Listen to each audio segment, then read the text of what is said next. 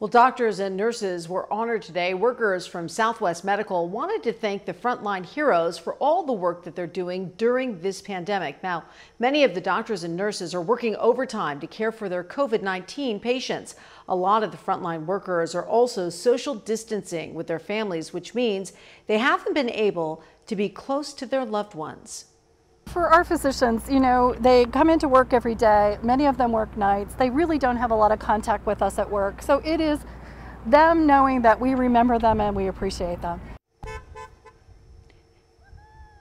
And dozens showed up with signs of encouragement to say thank you, as you can